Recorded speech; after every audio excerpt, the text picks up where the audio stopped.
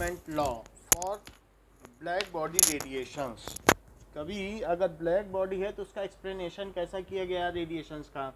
So it is Wien's displacement law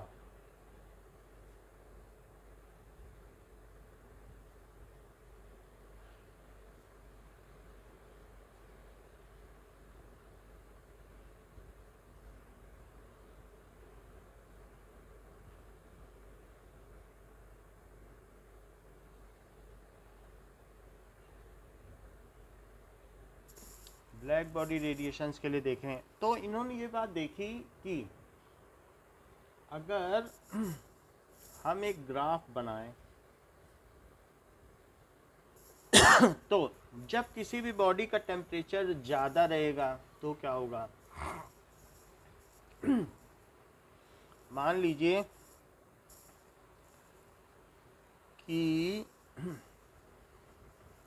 आ, किसी body का temperature ज़्यादा है तो उसका इस तरीके का ग्राफ बन रहा है। ज़्यादा है। ज़्यादा का मतलब है ये लेमडा है। जो लेमडा है, वो नैनोमीटर में है। और यहाँ क्या है? इंटेंसिटी इंटेंसिटी का मतलब क्या होता है? इंटेंसिटी का मतलब है number of photons falling per unit area per second उसको कहते हैं कि intensity number of photons falling at per unit area per second is called intensity तो अब पर यूनिट एरिया पर सेकेंड तो इसकी जो इंटेंसिटी होगी इसकी यूनिट क्या होगी पार्टिकल्स हो गया तो फोटॉन्स पर मीटर स्क्वायर और पर सेकेंड। अच्छा कुछ लोग इसे जूल में भी लेते हैं कि कितनी एनर्जी फॉल कर रही है। तो जूल के केस में ये क्या हो जाएगा? जूल के केस में हो जाएगा कि जूल पर मीटर स्क्वायर पर सेकेंड। तो अब ज़रा देखो कि अगर हमारे पास कोई टेम्परेचर है 5500 केल्विन या 6000 केल्विन तो ऐसे केस में वो ब्लू लाइट होगी। और सबसे ज़्यादा पार्टिकल्स ब्लू के होंगे। है तो सभी, सबके एमिट हो रहे हैं। ऐसा नहीं है कि अगर एक ब्लैक बॉडी रेडिएट कर रही है और उसमें से ब्लू लाइट एमिट हो रही है वो जो भी एमिट होगी, वो फोटोन के टर्म्स में एमिट होगी, जो किस तरीके से होगी। तो अब हम लोग पार्टिकल नेचर इस्टेब्लिश कर रहे हैं। तो अब ये, क्योंकि इससे भी है नंबर ऑफ़ फोटॉन्स ये भी तो पार्टिकल नेचर है। जब प्रोटॉन की बात कर ली पैकेट की बात कर ली तो क्या वो पार्टिकल हो गया? तो अब पार्टिकल की बात कर ली। तो ये ब्लू लाइट जब एमिट हो रही है तो ब्लू के सबसे ज़्यादा पार्टिकल है, तभी हमें ब्लू के दिख रहे हैं। अच्छा ब्लू के दिखेंगे तो इसका मतलब क्या है कि 6000 केल्विन पर हमको ब्लू या वॉयलेट के दिखेंगे। फिर थोड़ी देर में ये बॉडी ठंडी हो जाएगी। तो बॉडी ठंडी हो जाएगी तो ये जो ग्राफ है, वो अब इधर शिफ्ट हो जाएगा। ये शिफ्ट हो गया। यानी अब इसमें ग्रीन रेडिएशन दिखने लग गए तो ये ग्रीन हो गए अब ये five thousand five hundred kelvin के हो गए। Five thousand five hundred kelvin. फिर थोड़ी देर बाद क्या देखा कि ये और भी शिफ्ट हो गए।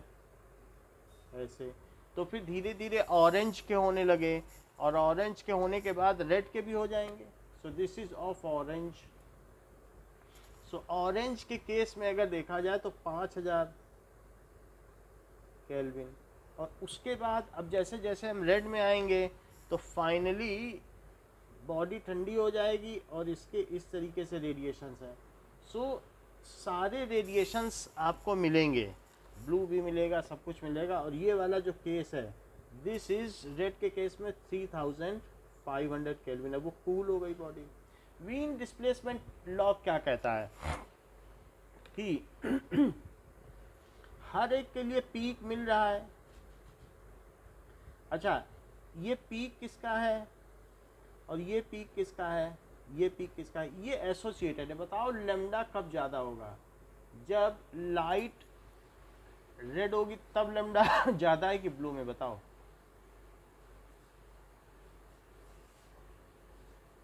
बताइए। किसका लेमडा ज़्यादा होता है? रेड का कि ब्लू का? आवाज़ नहीं आ रही, ठीक से करना पड़ेगा।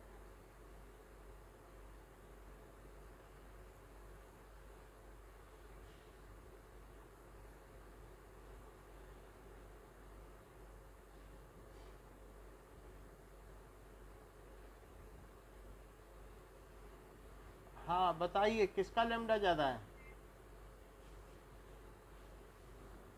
रेड या ब्लू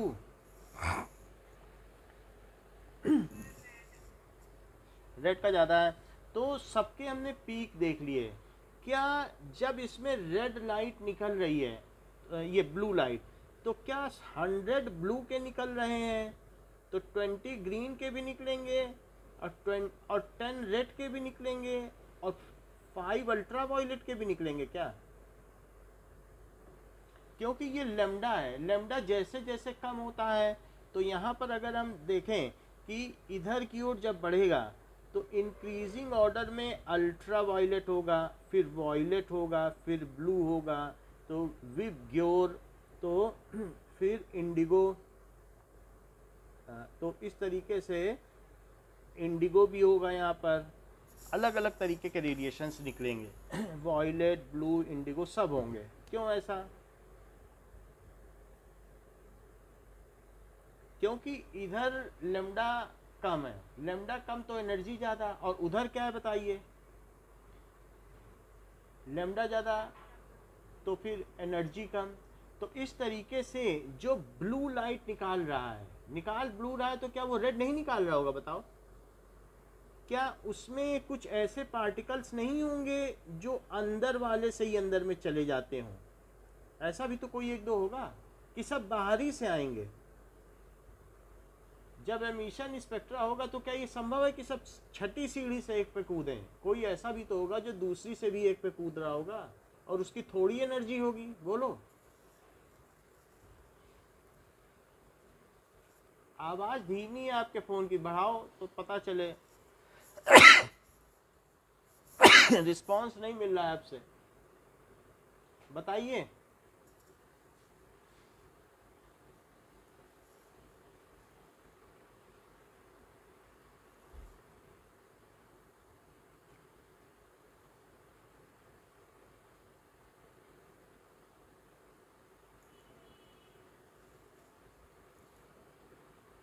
ओके।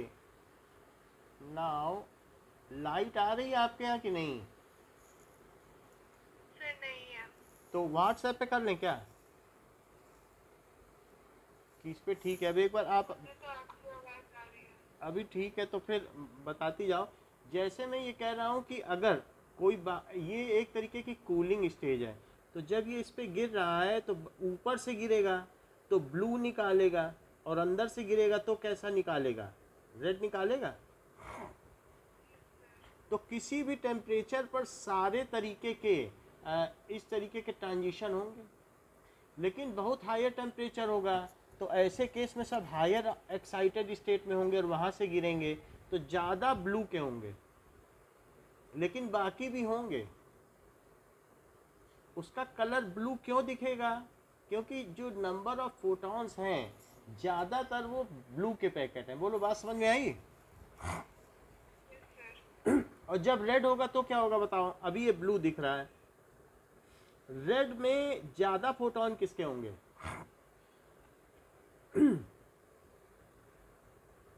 जैसे हंड्रेड रेड के हो गए तो क्या उस समय ब्लू का कोई नहीं निकल रहा होगा? ज़रा चेक करो, ये रेड वाला है।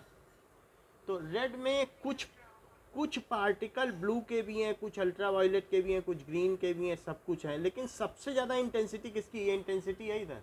ये इंटेंसिटी दिखा रहा है। सबसे ज़्यादा पार्टिकल किसके हैं? और रेड के बाद फिर धीमा पड़ता जा रहा है, फिर इंफ्रा रेड है जो हमें दिखाई नहीं पड़ता, जैसे बॉडी से हीट निकलती हो। ऐसे ही ग्रीन में सबसे ज़्यादा किसके होंगे? इंटेंसिटी का मतलब नंबर ऑफ़ फोटॉन्स और पर्टिकुलर एसोसिएटेड टू लेमडा तो सबसे ज़्यादा ग्रीन के होंगे, लेकिन ग्रीन की जब वो वो चीज़ ब्लैक बॉडी हमें ग्रीन दिखेगी, इसका कलर बदलता जाएगा। कैसे बदलेगा?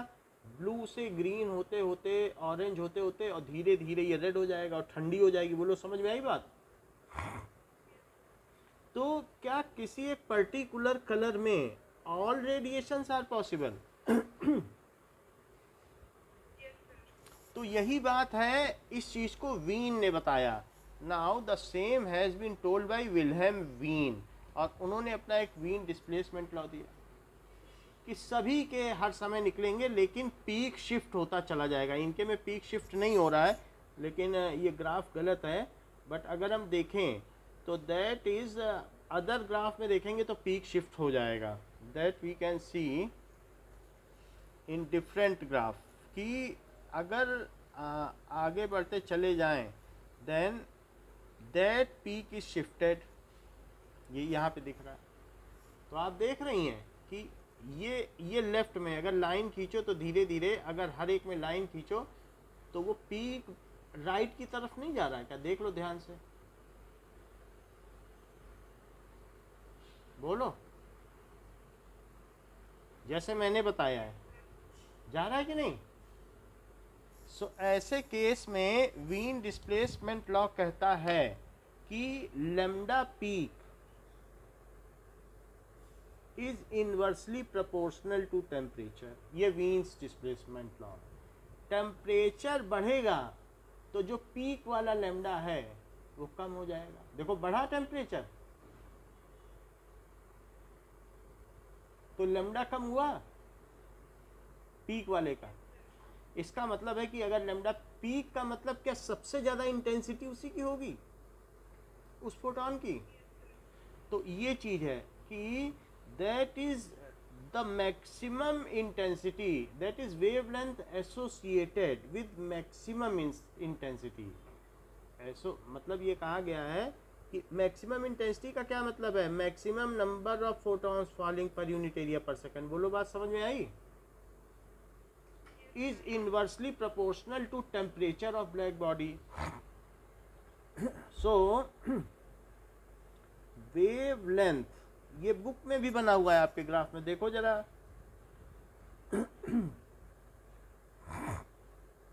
With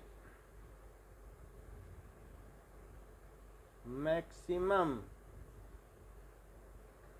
intensity is inversely proportional to temperature of black body.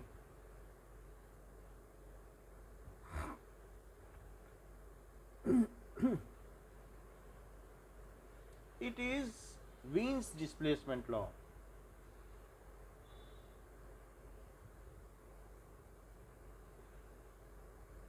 Displacement क्यों कहा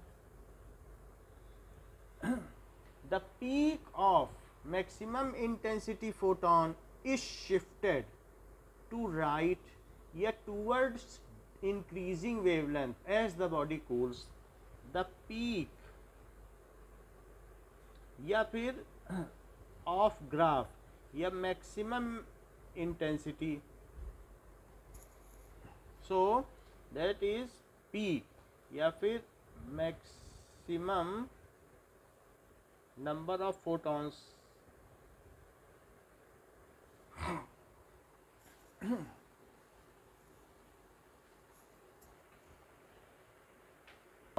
यहाँ पर आपको क्या बताया गया? कि peak is shifted to increasing wavelength as body cools. So intensity is particulate in nature क्योंकि ये नंबर ऑफ़ फोटॉन्स फॉलिंग है। नंबर तो पार्टिकुलेट होता है, वो तो वेव नहीं होती है। As intensity is particulate in nature So, black body radiations could well be explained by particle nature of electromagnetic radiations and not by wave nature.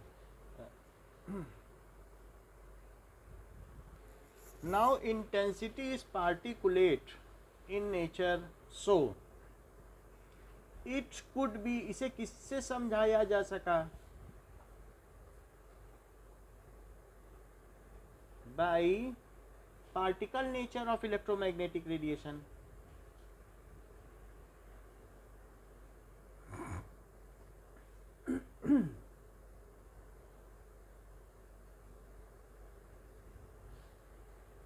radiations and not by wave nature इतनी बात समझ में आ गई कि कुछ पूछना है। वेव से नहीं समझाया जा सका। इंटेंसिटी तो हम जानते हैं number of photons falling per unit area तो उसी से तो समझाया इस बात को, क्योंकि इंटेंसिटी का ही तो ग्राफ है। अगर हम इसे वेव समझते तो वेव के केस में इंटेंसिटी क्या होती है? इट इज़ एम्पलीट्यूड स्क्वायर तो उससे नहीं समझाया जा सकता, ये वेव का कॉन्सेप्ट है इंटेंसिटी का। इंटेंसिटी क्या होती है? वेव में एम्पलीट्यूड तो एम्पलीट्यूड ज़्यादा होगा, उसके बेसिस पर नहीं बताया जा सका कि क्यों शिफ्ट होती है। है ना? क्योंकि अगर मान लो शेर की दहाड़ पूरे जंगल में जा रही है तो क्यों जा रही है?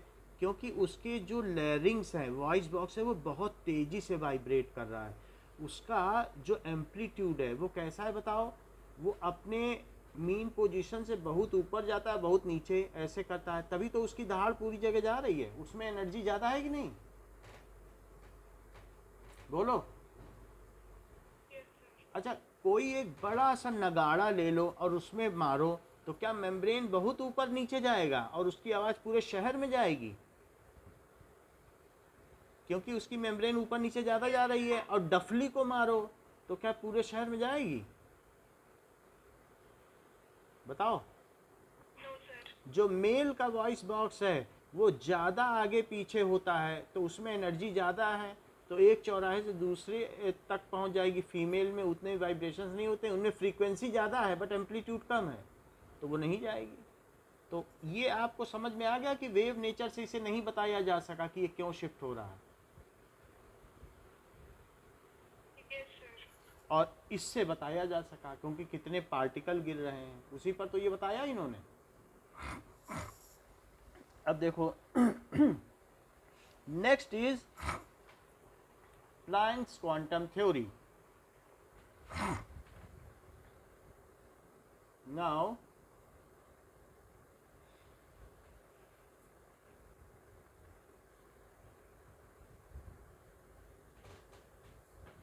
Planck's quantum theory क्या कहती है कि प्लांक ने एक बार देखा कि जब लकड़ियों में आग लगाई जाती है तो क्या होता है if this there is flame सर्दी की रातों की बात है दिसंबर में, कि उन्होंने आग लगाई तो यहाँ पर उन्होंने जो फ्लेम देखी तो ये देखा कि इसकी फ्लेम में से कुछ न कुछ इस तरीके से निकल रहा है।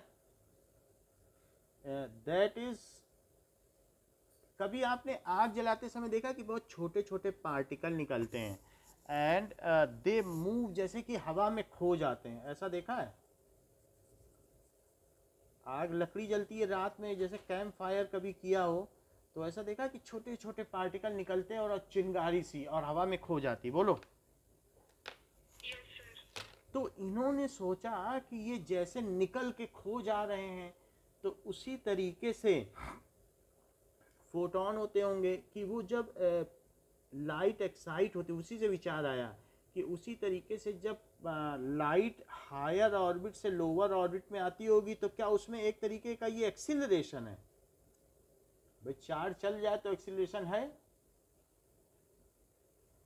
है बात कि नहीं? इलेक्ट्रॉन यहाँ आ जाए तो क्या एक्सिलरेशन नहीं है? और चूँकि वो हायर ऑर्बिट से लोअर ऑर्बिट आया है तो क्या उसके difference of energy between these two shells के बराबर ही एक फोटोन एमिट होगा?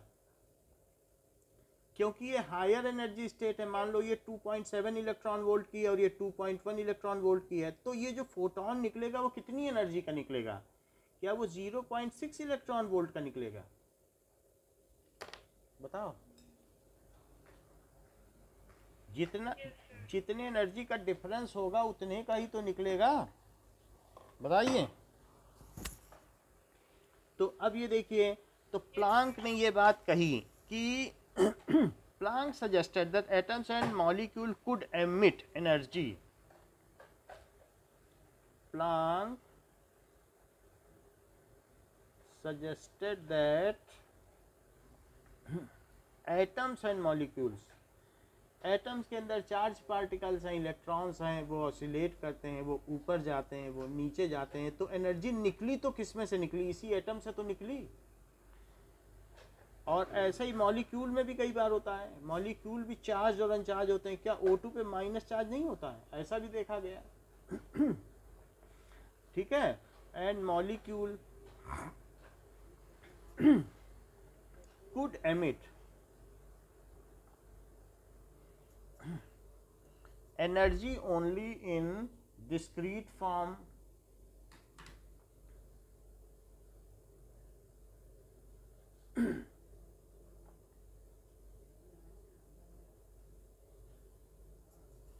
uh, and not in a continuous manner.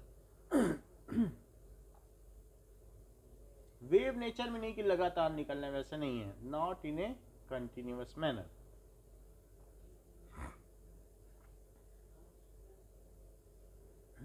ऐसा प्लांक ने देखा। Planck gave the name it quantum these packets of energy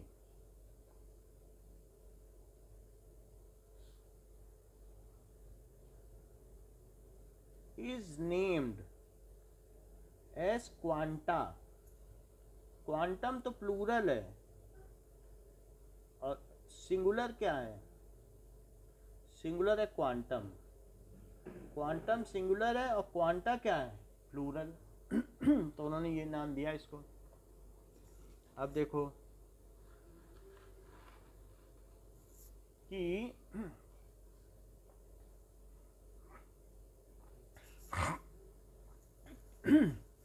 the energy is emitted in the form of electromagnetic radiation और quantum क्या है? The it is the smallest quantity of energy that could be emitted or absorbed in form of electromagnetic radiation. ये smallest कहना ठीक नहीं है, क्योंकि अलग अलग एनर्जी लेवल से अगर ये गिरेगा तो अलग अलग पैकेट निकालेगा क्वांटम के।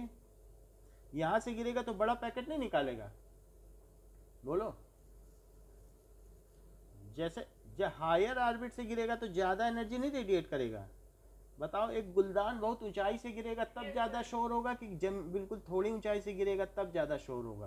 तो ऊपर से गिरेगा तभी तो ज़्यादा एनर्जी देगा।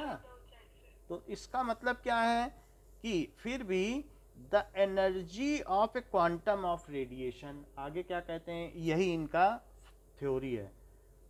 The energy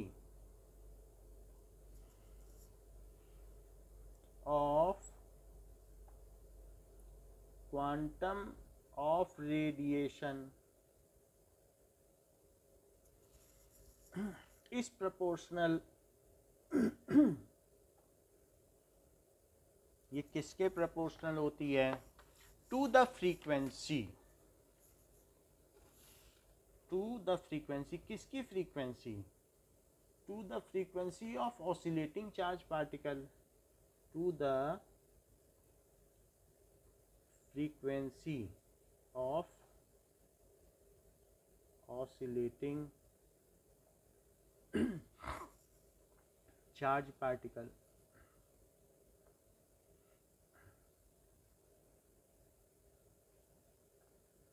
अच्छा ये बताओ कि कभी गर्म चीज़ को छूने में आपको गर्म क्यों लगता है? बताइए। कुछ तो रीजन होगा। क्योंकि जो चीज़ जिसको एनर्जी मिल जाती है ना, वो हॉटर होता चला जाता है। आपको मालूम है कि जब भी सॉलिड को हीट दो तो क्या उसके पार्टिकल अपने पोजीशन में, वैसे तो वो अपनी अपनी लेटेस्ट पॉइंट पे है लेकिन क्या वो बहुत तेज़ी से ऑसिलेट करने लगते हैं अगर हीट दो। बोलो। और ऑसिलेट करते करते कभी वो इतना दूर पहुँच जाते हैं कि अपने लेटेस्ट पॉइंट से ही छिटक जाते हैं और वो लिक्विड बना देते हैं। They overcome the force of attraction intermolecular force of attraction और वो वहाँ से फिर लिक्विड बना देते हैं अपनी पोजीशन छोड़ देते हैं। तो अल्टीमेटली क्या बढ़ा हीट देने से? क्या पार्टिकल के ऑसिलेशन से एनर्जी बढ़ी या फिर फ्रीक्वेंसी भी बढ़ी? अब उनमें ऑसिलेशंस बढ़ गए। हुआ कि नहीं? तो किसी गर्म चीज़ को छूने में इसलिए गर्म लगता है क्योंकि उसकी फ्रीक्वेंसी ज़्यादा है। और वही हमारे जो हमने किसी स्टिमुली को टच किया तो उसके जो फ्रीक्वेंसी से जो उसके ऑसिलेशन से एनर्जी है वो हमारे नर्व से होते हुए ब्रेन तक चली गई। और वो हमारे अंदर किसमें माइक्रो एम्पियर करंट में बदल गई। और फिर न्यूरो में जाते हुए वो क्या हुआ कि कुछ केमिकल्स में बदल गई। ठीक है? जो सिनेप्स में न्यूरो होते हैं, वो केमिकल्स होते हैं, फिर आगे बढ़ती हुई, फिर वो लाइट उसमें बदल गई करंट में। तो जब हम गर्म चीज़ को छू रहे हैं तो हमको इसलिए ज़्यादा सेंसेशन लग रहा है, हाथ जल जा रहा है या कुछ भी हो रहा है बिकॉज़ ऑफ़ इट्स फ्रीक्वेंसी तो फ्रीक्वेंसी ज़्यादा होगी तो क्या होगी? क्या एनर्जी ज़्यादा होगी? अगर कोई पार्टिकल बहुत तेज़ी से ऑसिलेट कर रहा है, जैसे गामा तो ऐसे केस में उसमें निकलने वाली एनर्जी का पैकेट क्या बड़ा होगा? तो it is equals to h nu where h is Planck's constant ये प्लांक्स कांस्टेंट है, जिसकी वैल्यू कितनी है? 6.626 into ten to the power minus thirty four joule per second देखो, कैसे? एच क्या है? एच क्या ई बाई न्यू है? और e किसमें होता है? जूल में होता है। और न्यू किसमें होता है? फ्रीक्वेंसी क्या? पर सेकंड में होती है। तो ये पर सेकंड अब ये जब ऊपर चला जाएगा तो किसमें बदल जाएगा? जूल सेकंड अच्छा आप दो चीज़ें हमें बता दो। एक तो वीन्स डिस्प्लेसमेंट लॉ मुझे स्टेट करके दिखा दो, और एक प्लांक्स क्वांटम थ्योरी।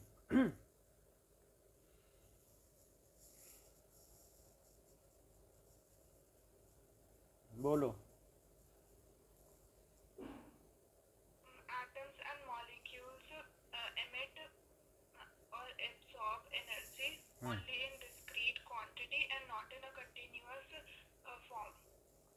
हाँ ये सब तो अच्छी बात बताइए प्लांक्स क्वांटम थ्योरी भी तो बताओ।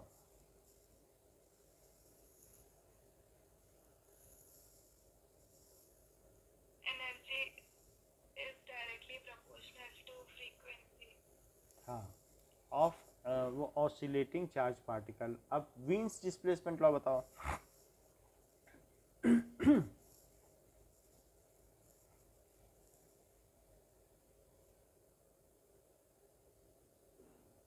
बताइए।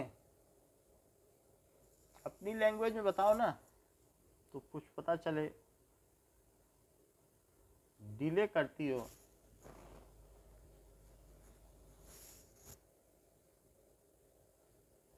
ओके स्टेट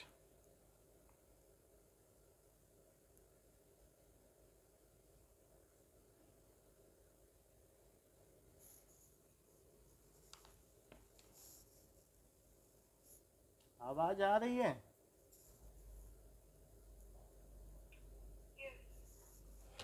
तो ये देखो, अवीन्स डिस्प्लेसमेंट लॉ बताओ, इस ग्राफ को देख के बताओ।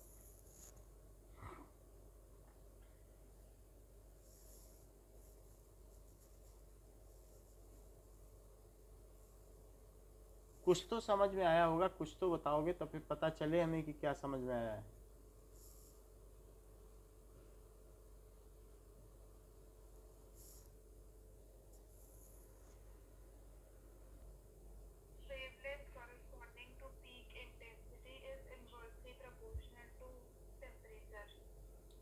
टेम्परेचर ऑफ़ ब्लैक बॉडी ये वेव नेचर से क्यों नहीं एक्सप्लेन किया जा सका?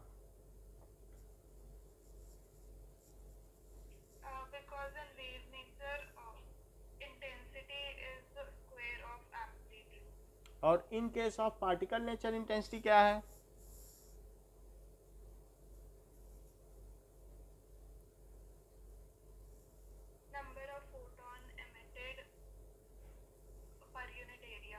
Falling on per unit area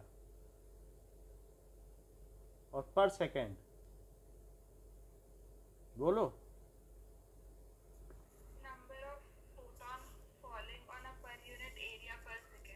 तो इस तरीके से इसको बताया जा सका। फिर आगे लिखते हैं। Planck was able to explain black body radiation as a function of frequency और wavelength at different frequency due to particulate nature जब पार्टिकल मान लोगे तो एक्सप्लेन किया जा सकेगा।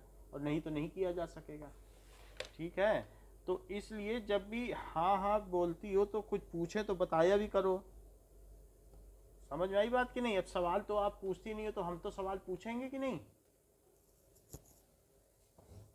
तो बताया करो तो पता चलेगा। Photoelectric effect.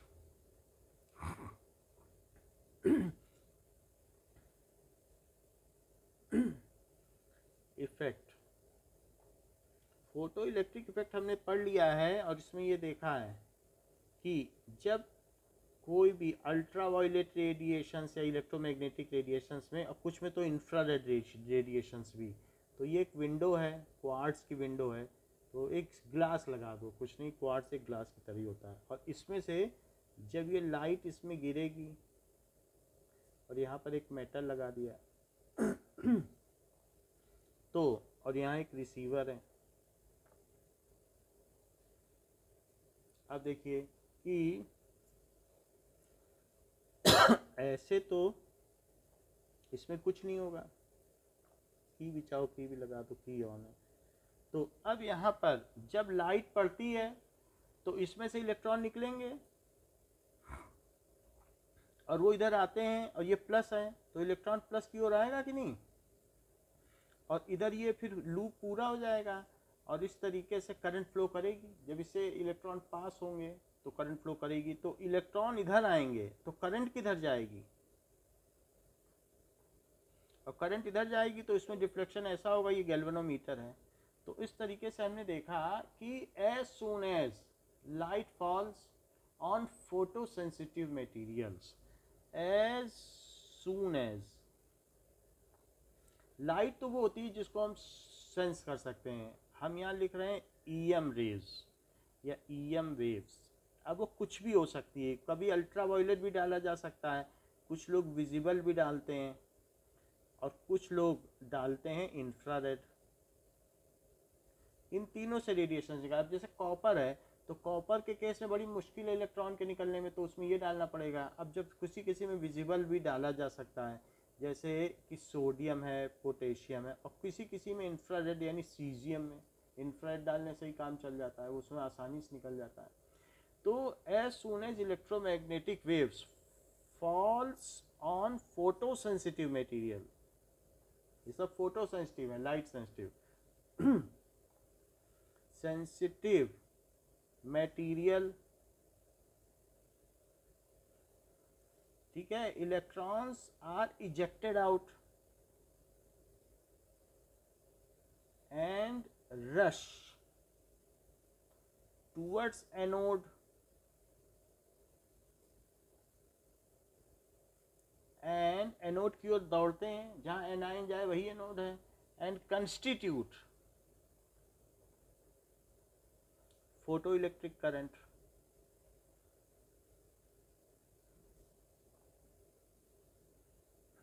ऐसा है। So photoelectric there is deflection seen notice in galvanometer.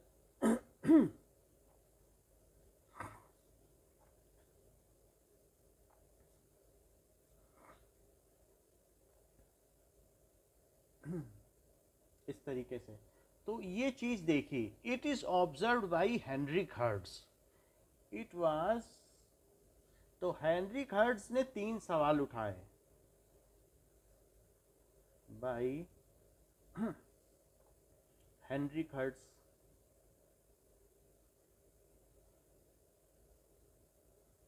तो ये जो हमने आपको पहले बात बताई है कि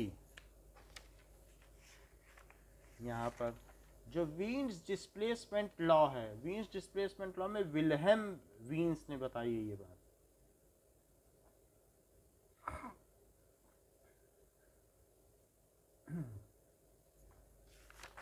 अब देखो तो हेनरी हर्ट्ज ने ये 1887 में एक्सपेरिमेंट किया और ये बात देखी।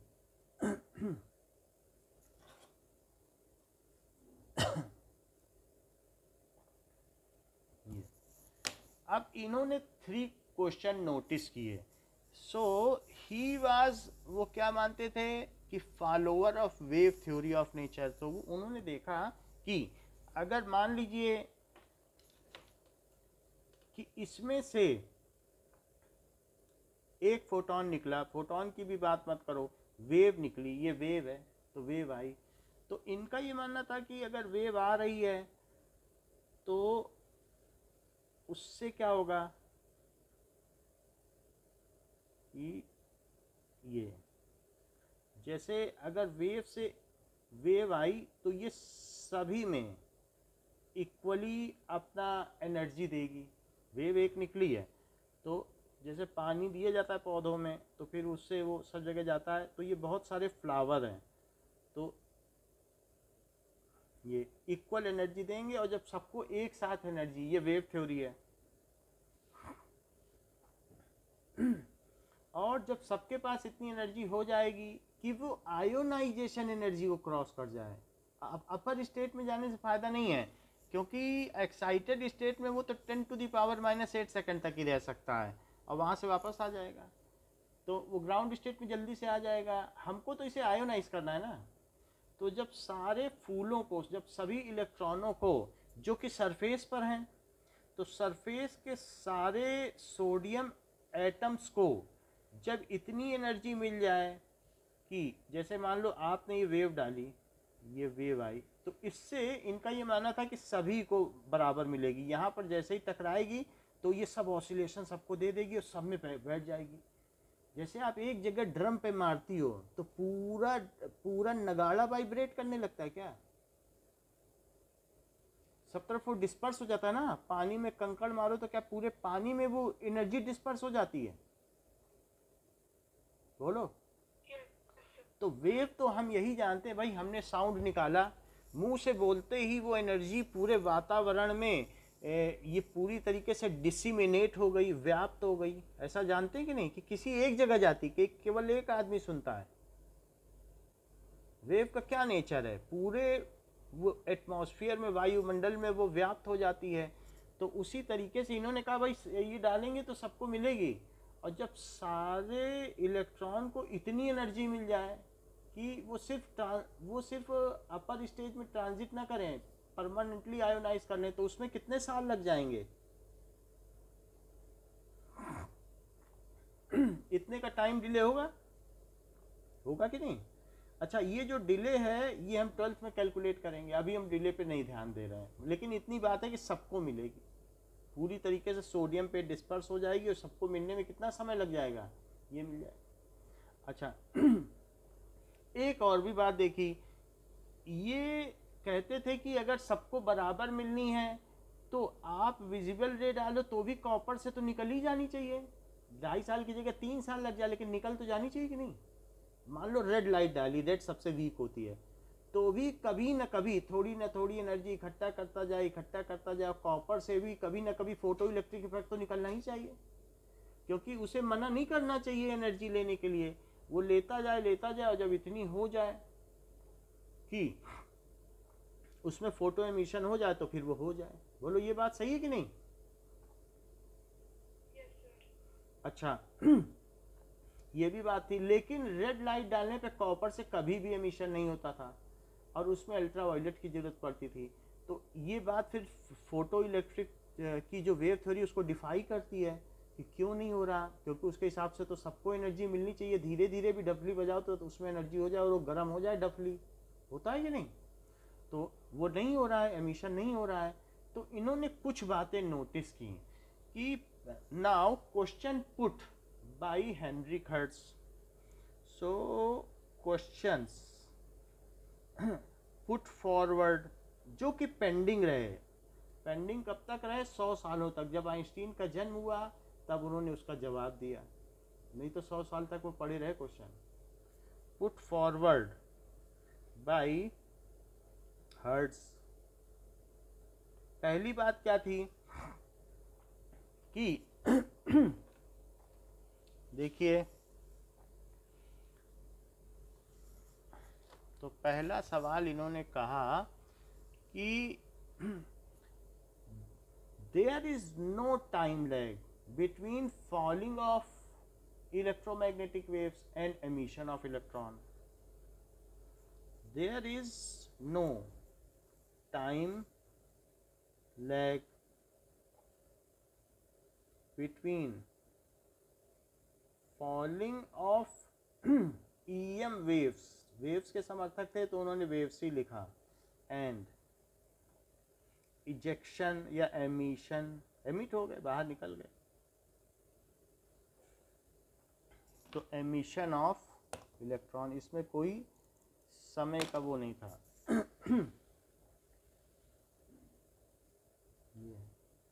As per wave theory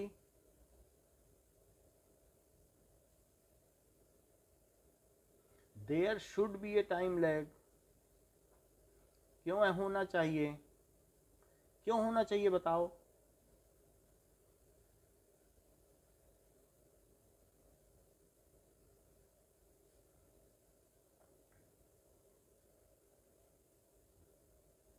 Because it was assumed that uh, e- electromagnetic वो लोग क्यों होना चाहिए?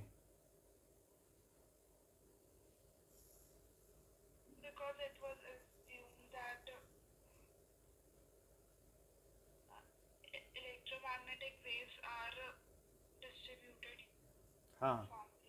Distributed and it is one to all transfer between falling of wave and ejection of electron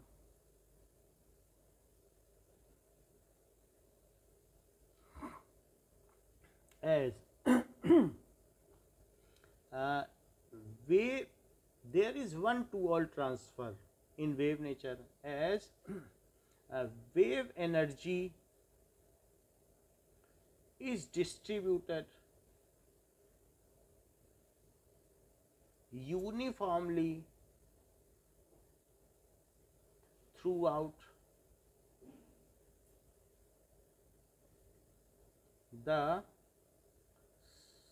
surface uniformly, and it is one to all transfer. One to all transfer. तो इसको थोड़ा amend कर लो. This is two and half hours कर लो years में. कितने का transfer है ये? वन टू आल ट्रांसफ़र है. तो इतने घंटे का होना चाहिए. अब देखो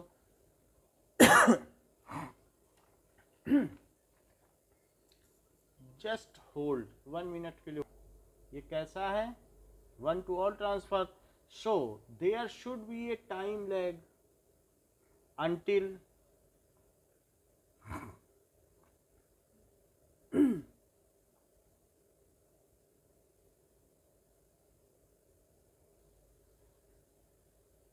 until all electrons get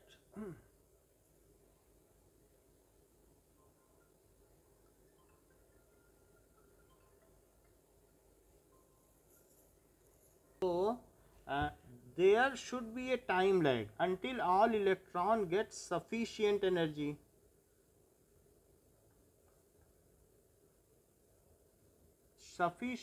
energy uh, जो कि आयोनाइजेशन एनर्जी होगी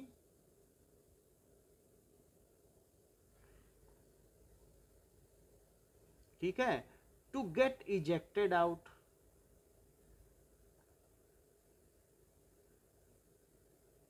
this time lag should be at least two and half hour ये कितना होना चाहिए? This time lag should be at least two and half hour लेकिन it is as soon as but as as uh, waves E M waves fall the photoelectric current constitute तो इसको wave theory से उत्तर नहीं दिया जा सका। But as soon as E M waves falls जैसे ही फॉल करती हैं on metal plate photoelectric current constitutes photoelectric current constitutes so ये चीज़ होता है तो इसलिए ये दिया नहीं जा सका उत्तर। तो पहला पॉइंट समझ में आ गया कि क्या है? ठीक? नाउ अब जरा देखो, इस प... हाँ इज़ इट ओके? समझ में आई बात की नहीं?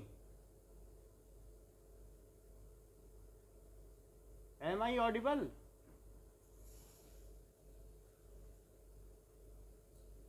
द, इन्होंने एक्सप्लेन किया दैट इज़ 1920 के करीब किया 40 साल बाद। That is the electrons are rejected out from metal surface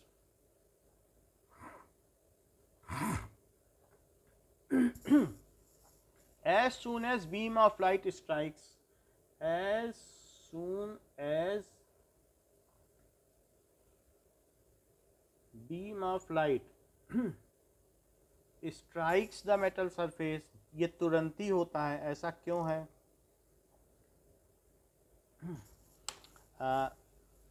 the surface so there is no time lag तो there is no time lag. As photons are particulate in nature photons are particulate in nature and there is one to one transfer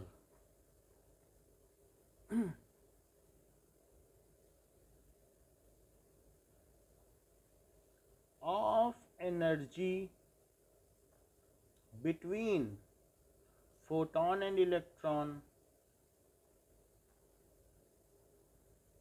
Photon and electron. He explained photoelectric effect taking basis of Planck's quantum theory, he explained photo electric effect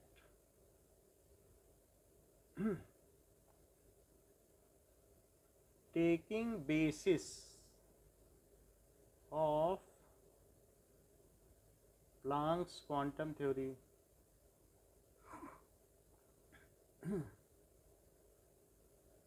Planck's quantum theory के basis पे इन्होंने किया कि photon takes birth as particle travels as wave and dies as particle. क्या reference दिया था Planck ने? कि photon takes birth as particle ये प्लांक ने बताया था। Travels as wave and dies as particle तो इन्होंने बताया कि चूँकि ये जो ट्रांसफ़र है तो इस तरीके से ये कैसा ट्रांसफ़र है? जो फोटोन आएगा, ये पार्टिकुलेट नेचर है और ये वन टू वन ट्रांसफ़र है। तो वन टू वन ट्रांसफ़र का मतलब जैसे यहाँ फूल उगा है तो एक फूल को दे देगा ये। सबको नहीं देगा। तो if photon is falling on metal surface then the energy is handed over to single atom not all बोलो, समझ में आई? One to one transfer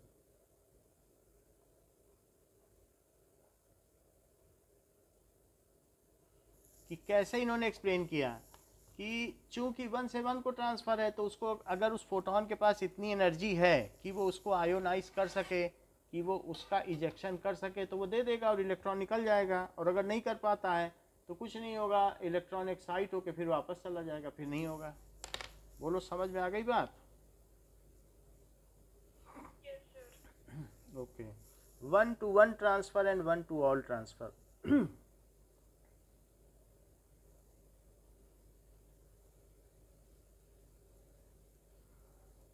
now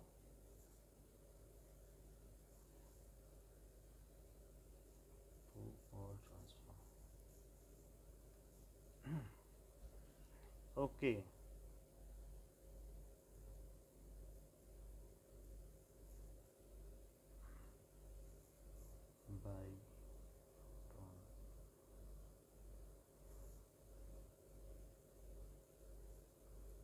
Now. तो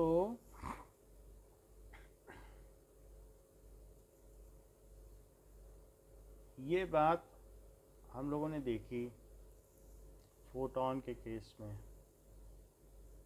जस्ट होल्ड तो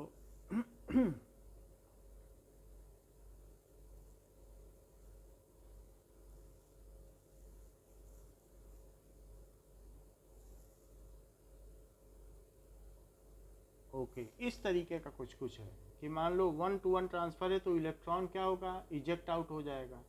उसमें से तो बस जैसे ही होगा। और कभी कभी तो क्या होता है कि न्यूक्लियस तक पहुँच जाता है, बहुत गामा है तो दूसरे में न्यूक्लियस वाला निकल रहा है। तो वो क्या है कि हीलियम भी निकाल सकता है तो ये अलग है। तो it is a falling of photon तो ऐसा दिखाया गया है। ठीक है कि नहीं? तो उससे इलेक्ट्रॉन निकल जाता है। अब ज़रा देखें। दूसरा पॉइंट क्या है?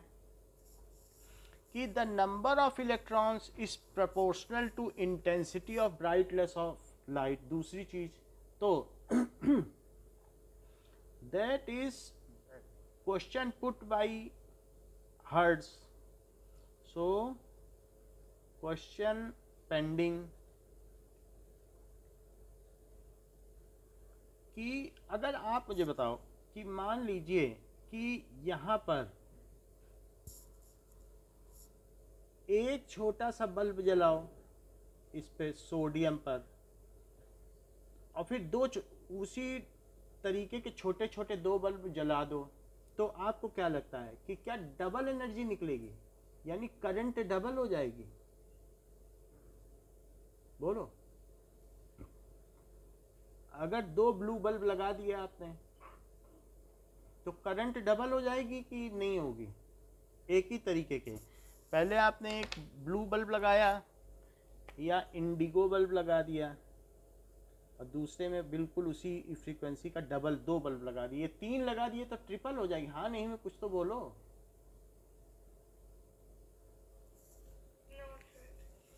तो यही वो भी कह रहे थे। कह रहे थे कि इससे एनर्जी जो है डिस्पर्स हो जानी चाहिए। और बस वो ढाई घंटे की जगह सवा घंटे में निकल जाना चाहिए। टू एंड हाफ़ आवर्स की जगह वन एंड हाफ़ आवर्स क्योंकि अब उसकी जगह सबको बराबर एनर्जी मिले। तो मान लो अगर इससे टेन फोटोन निकल रहे हैं तो टेन इलेक्ट्रॉन एमिट होने चाहिए। और दो लगा दोगी एक ही इंटेंसिटी के तो दस दस दोनों से निकलेंगे तो ट्वेंटी होने चाहिए कि नहीं? क्योंकि वन टू वन ट्रांसफ़र यही आइंस्टीन ने बताया। बोला वन टू वन ट्रांसफ़र है। तीन बल्ब लगाओगे तो तीन गुना इलेक्ट्रॉन निकलेंगे क्योंकि वन टू वन ट्रांसफ़र है। अच्छा हेनरी कह रहे थे नहीं ढाई घंटे की जगह सवा घंटे में निकले, क्योंकि अब पानी में मैंने दो कंकड़ फेंक दिए हैं। तो पानी में एनर्जी जो है डबल डिस्पर्स हो गई होगी। बोलो, बात सही है? वेव थ्योरी के हिसाब से। तो क्वेश्चन ये था कि the number of electrons ejected is proportional to it is proportional to intensity of brightness of light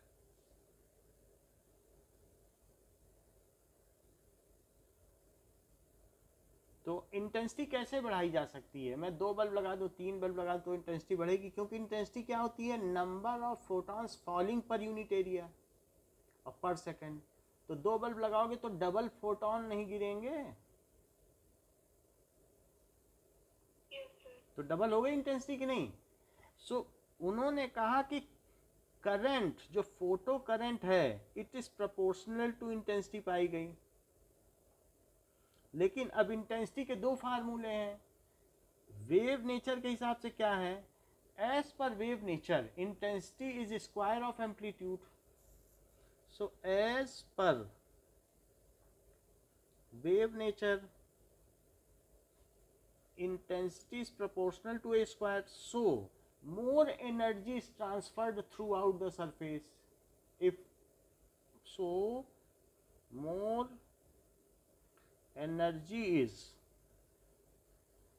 transferred यानी अगर आप एम्पलीट्यूड में रूट टू का बदलाव करें, तभी तो इंटेंसिटी डबल होगी।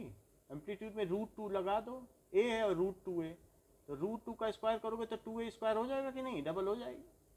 बताइए।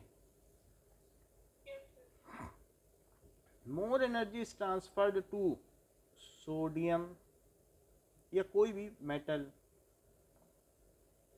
ठीक है? So there should be ejection in जैसे ढाई घंटे में हो रहा है तो वन आवर फिफ्टीन मिनट में होना चाहिए। So first ejection should take place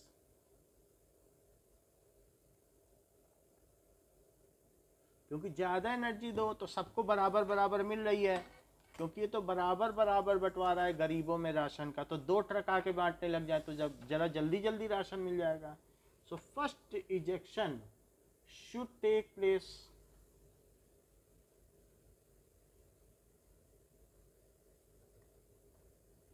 in half of stipulated time.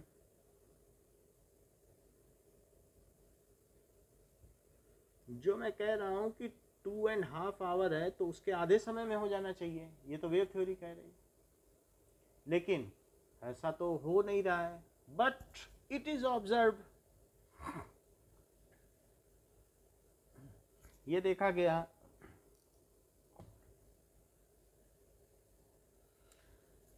That if two bulbs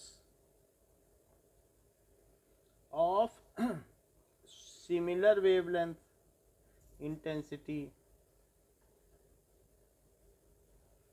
is use instead of one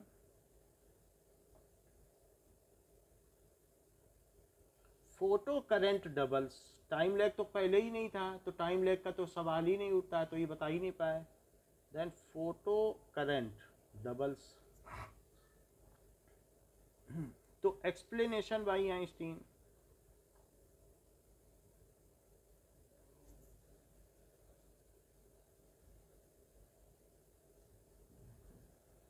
as EM waves are particulate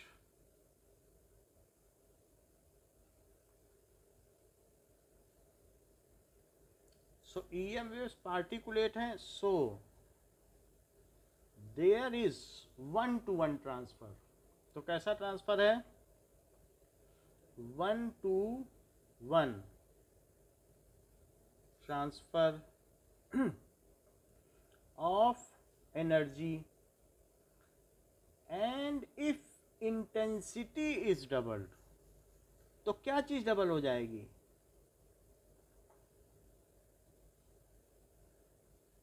then number of falling photons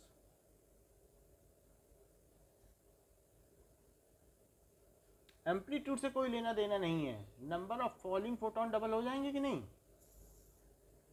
Yes, sir. Doubles and the number of ejected electron will also be doubled and number of ejected electron will also be doubled यानी इन्होंने ये graph बना दिया Einstein ने बताया कि इस वजह से है कि इंटेंसिटी ये है इलेक्ट्रॉन ये करंट है और ये है इंटेंसिटी तो यानी करंट और इंटेंसिटी प्रोपोर्शनल हैं. तो अगर इंटेंसिटी बढ़ाओगे तो करंट बढ़ जाएगी. और जहाँ पे इंटेंसिटी क्या है? Photons per metre square per second समझ में आई बात? तो लीनियरली रिलेशन है, जैसे वी और आई का ओम्स लॉ होता है लीनियर रिलेशन होता है वोल्टेज डबल करो तो करंट डबल हो जाती है। उसी तरीके से तो ये रिलेशन है। बोलो। Yes, तो ये एक्सप्लेनेशन समझ में आ गया? Yes, तीसरी बात थर्ड क्वेरी क्वेश्चन पेंडिंग ये भी हेनरिक ने कहा कि for each metal there is if ये कहा गया if lesser than a particular wavelength is falling on photosensitive metal if lesser than a particular frequency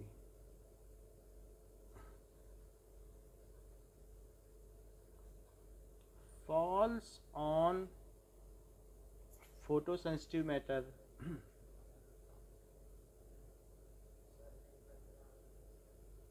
Metal. How high its intensity may be. How high its intensity may be. No photocurrent is seen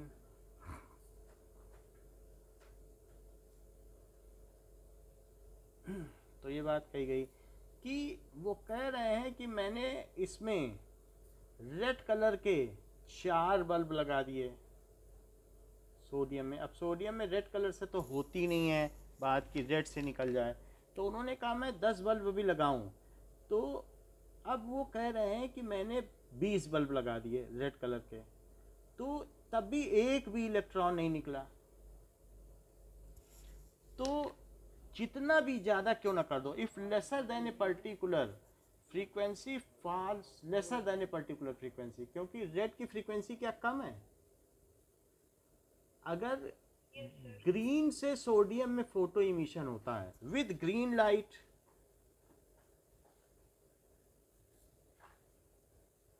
photo emission is seen photo emission is seen, Heinrich ने भी ये देखा, is seen in sodium metal.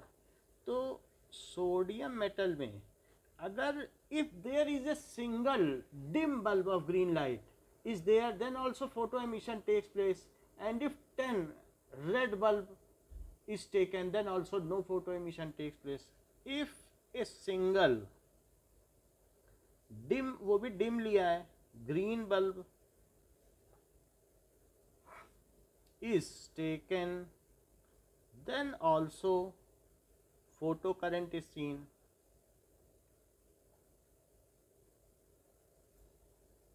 is seen while with 10 red bulbs वो तो lower frequency हो गई ना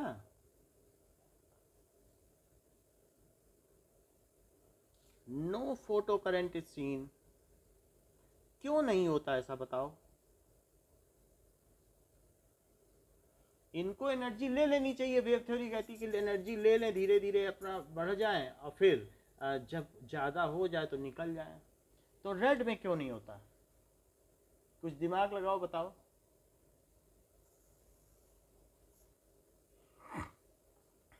कुछ तो बोलो। है कोई आइडिया? या क्वेश्चन क्या यही बताओ।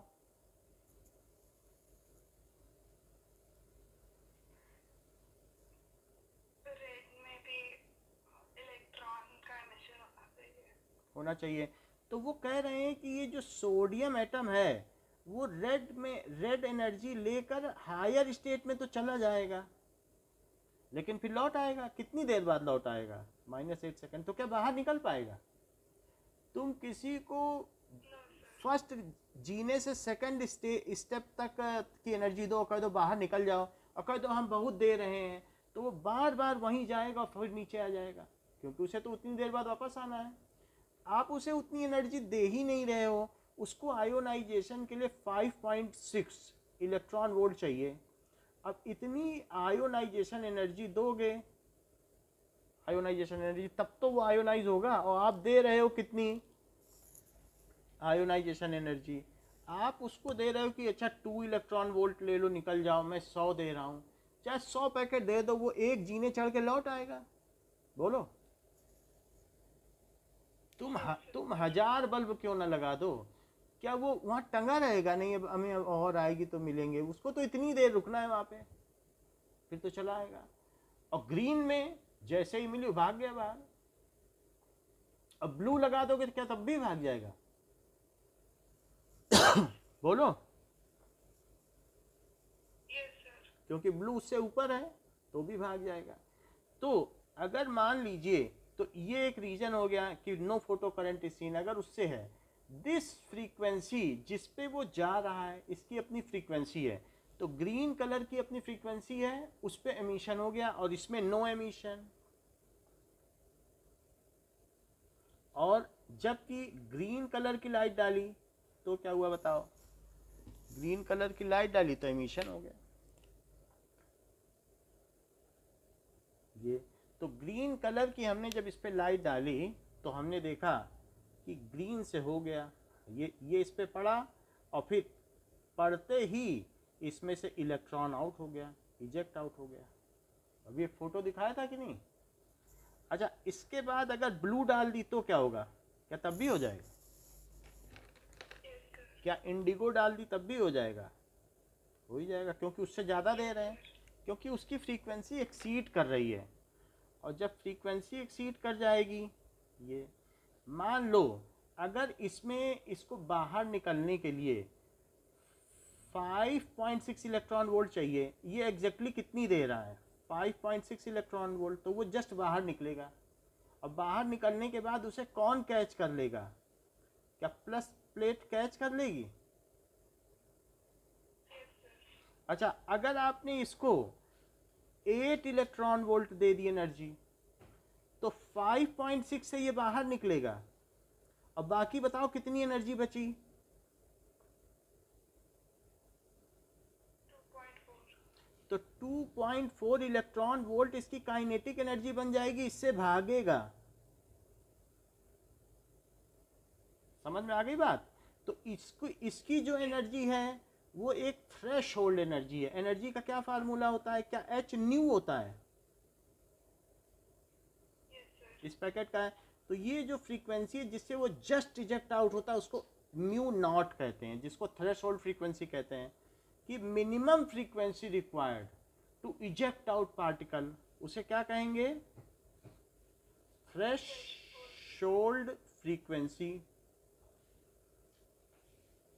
तो अगर मान लो इसे आपने एच न्यू दिया एच न्यू कितना दे दिया? एच न्यू एनर्जी दी तो एच न्यू नॉट से बाहर निकलेगा। देखो, देख लो। और पार्टली इसके पास क्या half m v square energy आ जाएगी kinetic energy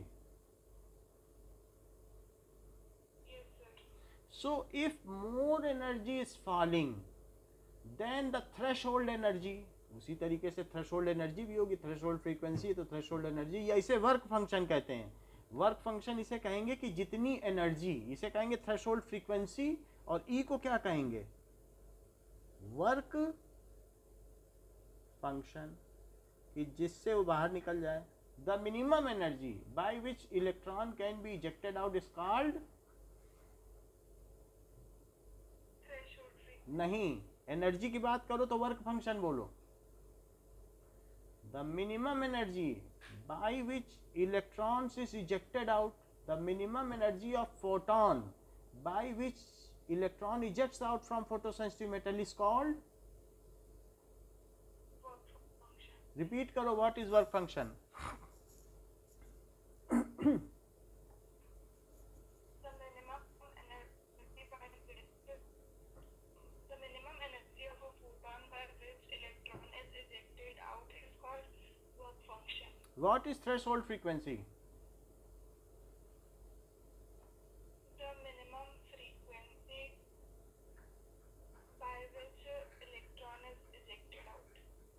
What is threshold wavelength? The wavelength of the minimum frequency. भाई अब मिनिमम क्यों कह रही हो मिनिमम फ्रीक्वेंसी तो maximum wavelength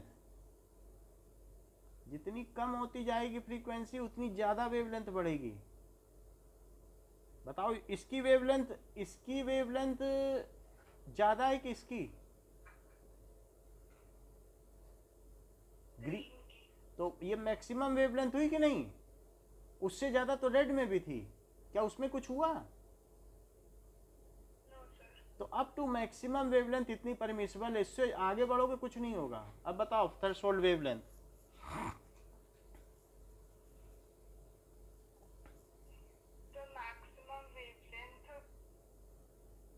frequency by which frequency भी बोल रही हो वेवलेंथ भी बोल रही हो एक चीज़ बोलो कुछ हमें भी समझ में आए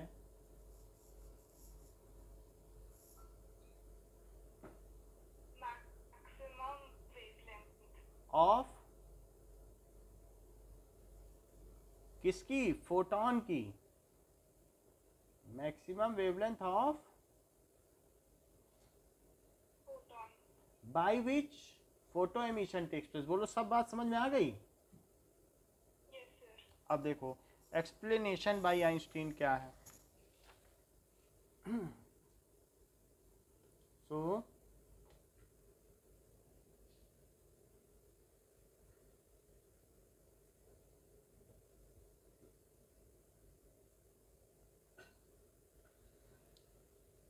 नाउ द इन्होंने बताया कि if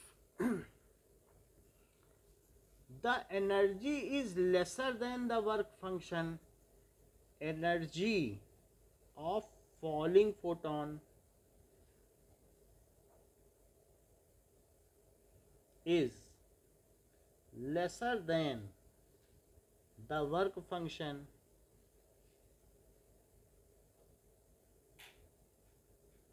or frequency of falling photon is lesser than threshold frequency.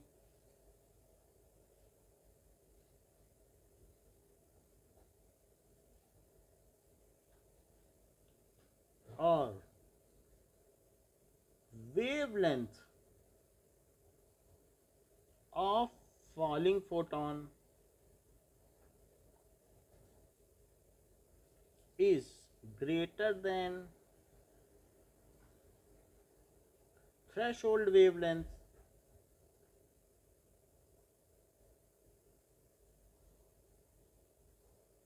then no photocurrent is seen क्यों ऐसा क्यों as em waves are particulate in nature as em waves are particulate and in form of photon packet में होती हैं ठीक है और the falling energy of falling photon is partly utilized as work function and partly it is uh, handed over and rest it is handed over to electron as its kinetic energy जितनी बची है वो उसकी गतिज ऊर्जा के रूप में इलेक्ट्रॉन के साथ हो जाएगी तो क्या बात हमने बताई energy of falling photon is partly utilized as work function work function का क्या मतलब बताया? टू डिग आउट इलेक्ट्रॉन बोलो बात सही है। And rest is handed over to ejected electron as its kinetic energy देखो जो ना समझ में आए पूछ लिया करो। आप अकेले पढ़ रही हो किस बात की आपको संकोच रहता है बताओ। ये समझ में आई बात कि नहीं समझ में आई? बोलो। तो जो एनर्जी है वो दो जगह यूज़ होगी। एक वर्क फ़ंक्शन और प्लस काइनेटिक एनर्जी। जैसे h nu this is the energy of falling photon है। वो किसमें यूज़ होगी? एच न्यू नॉट और plus half m v square electron को एनर्जी मिल गई। इसको कहते हैं it is Einstein's photo electric equation it is Einstein's इस पे नोबेल प्राइज मिला इनको। फ़ोटो इलेक्ट्रिक इक्वेशन आइंस्टीन की फ़ोटो इलेक्ट्रिक इक्वेशन हो गई। अब जरा देखो, ये न्यू क्या है? ये क्या फ्रीक्वेंसी ऑफ़ फॉलिंग फोटोन है?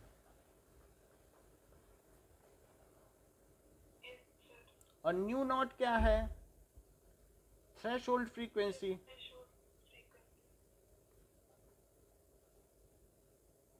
और वी क्या है? वेलोसिटी ऑफ़ एमिटेड इलेक्ट्रॉन जरा ये देखो कि मान लो अगर दो जूल एनर्जी इसको निकलने में चाहिए और हमने यहाँ से ये टेन जूल दे दी और इस मेटल से निकलने के लिए मान लो टू जूल चाहिए। वर्क फ़ंक्शन है टू जूल। तो बता सकती हो कि जो इलेक्ट्रॉन निकलेगा उसके पास कितनी काइनेटिक एनर्जी होगी?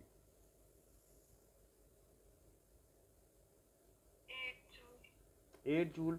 तो ये आइंस्टीन की जो h nu is equal to h nu not और plus half m v square है तो क्या वी क्या होता है? दैट इज़ न्यू लेमडा होता है क्या? और v v की जगह c लिखो क्योंकि ये ई एम वेव्स हैं और ये लाइट हैं तो इसकी वेलोसिटी c के बराबर है। तो बताओ न्यू क्या हो जाएगा?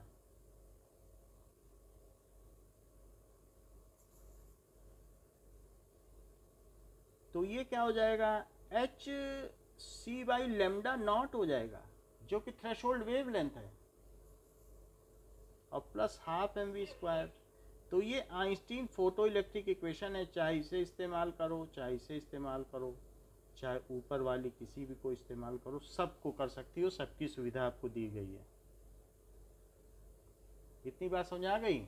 What is threshold frequency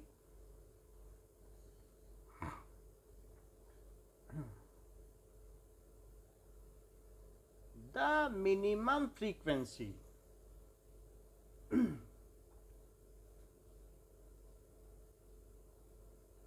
At which photo electric effect takes place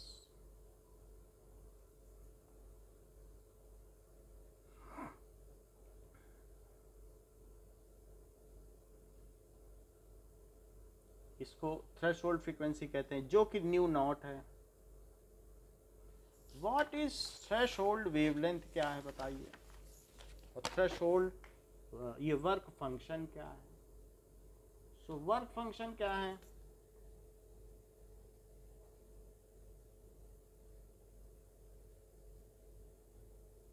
The minimum energy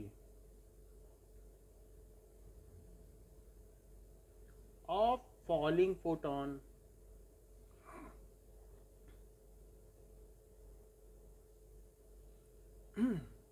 at which electron is ejected out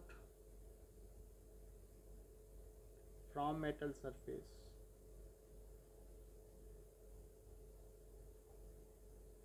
it is equals to ये किसके इक्वल होती है it is equal to ionization energy of electron बताइए Yes, sir. अच्छा तीन तरीके के emission होते हैं। आप लाइट से भी किसी को एमिशन करा सकती हो, उसको क्या कहते हैं? इसको कहते हैं फ़ोटो एमिशन अगर आपने लाइट डाली और इलेक्ट्रॉन निकल गया, और हीट करो किसी चीज़ को, गर्म करो, तब भी इलेक्ट्रॉन निकल जाएँगे। तब उसे क्या कहेंगे? एनर्जी तो देना है। थर्मियोनिक एमिशन क्या कहेंगे? और बहुत ज़्यादा वोल्टेज लगाओ जैसे कैथोड रे में करती हो खूब वोल्टेज लगाओ इलेक्ट्रॉन खींच लिए उसको क्या कहते हैं? वोल्टाइक एमिशन बात समझ में आ गई? तो ये जो हमारा एमिशन है वो किस तरीके का है? अच्छा तो फिर थ्रेश होल्ड वेवलेंथ क्या हुई?